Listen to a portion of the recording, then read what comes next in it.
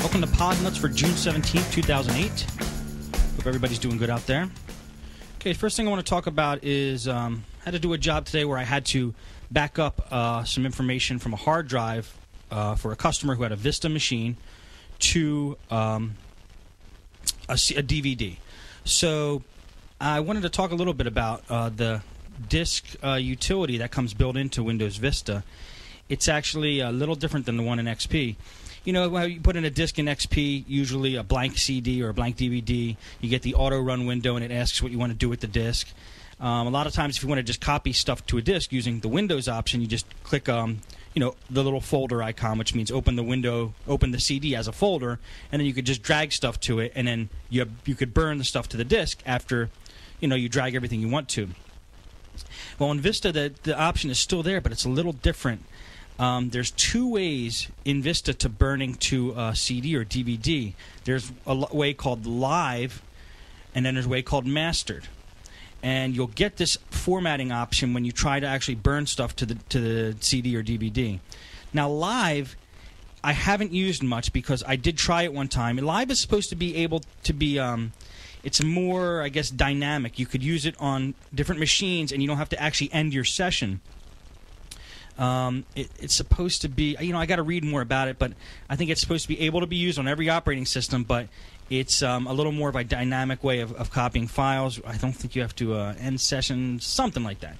But mastered is the old way. So I've been sticking with the old way because I, when, I, when I one time I did try to do the live way, we were trying to put files on a CD, burn them onto a CD for a, for a Mac, and using live it didn't work on a Mac, but mastered did. So I think master takes a little longer to actually do the process, but it's more of a standard old way of doing it. So you, I think you run a little bit less risk of errors when you do it that way.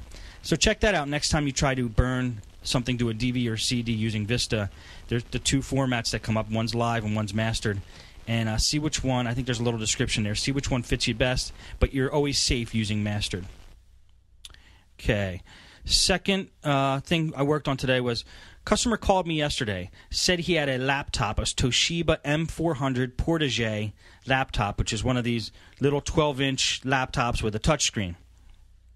And his touchscreen mysteriously broke, said his kids. He came home one day and it was busted, and um, nobody owned up to it. So that's something he's going to have to figure out on his own there. I hope he gets that handled.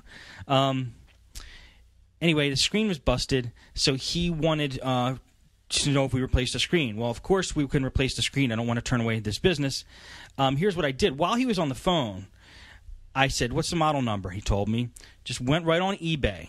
Um, typed in, you know, Portage, or I actually typed in Toshiba M400 screen, and all the screens came up that were for sale.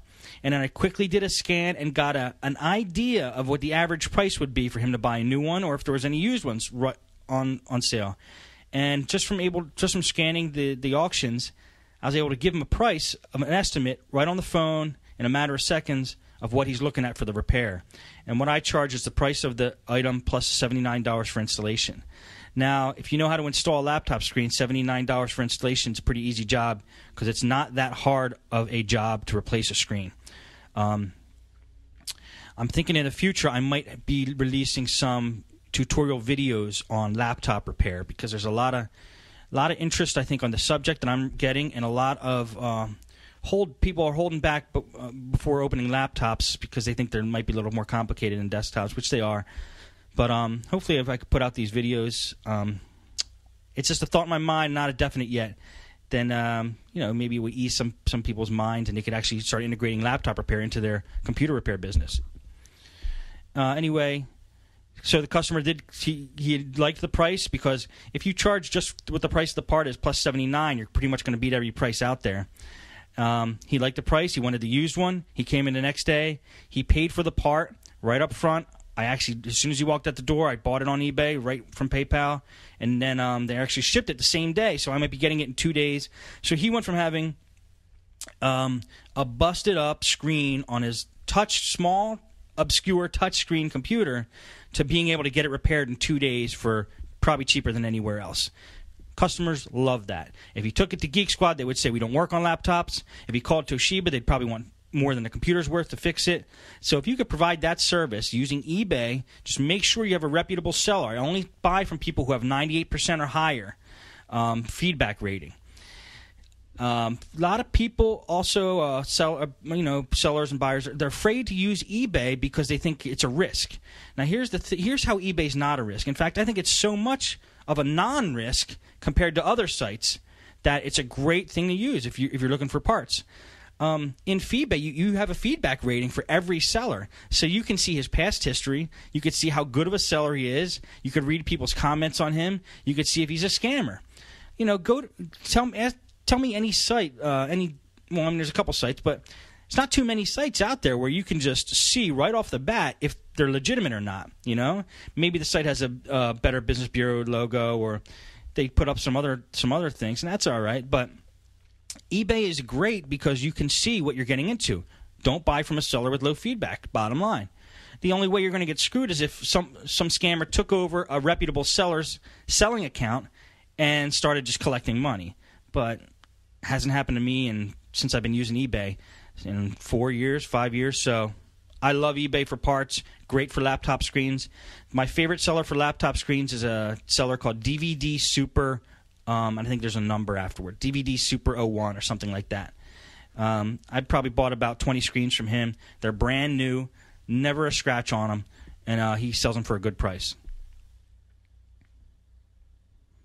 Okay, last computer I want to talk about is a Compaq that came in. It was Compaq laptop, um, probably about two years old. And what was happening was his operating system was just creeping along real slow, but not just slow.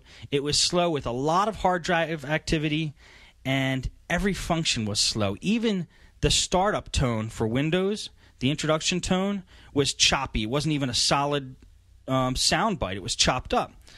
In my experience in the past, well, first of all, I went in and cleaned out everything just using my normal cleanup procedure that I, have told you guys before. Um, cleaned up everything possible, made sure there was nothing um, taking up all the system memory or the processor usage, and got it down to a very, very low level. But the system still was, was crawling along.